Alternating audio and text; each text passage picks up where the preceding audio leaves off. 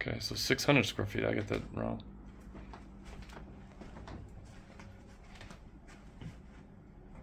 Hmm. Dishwasher? Yeah. All works. Stove, microwave. Running all, all of it works. Yep, cool. And uh, front door. Good deal. You ugly guys are going to be in the video. And then the bathroom and shower, uh, shower's done nice. Yeah, they didn't have to cut into any of that when they fixed it, so. Cool. All right.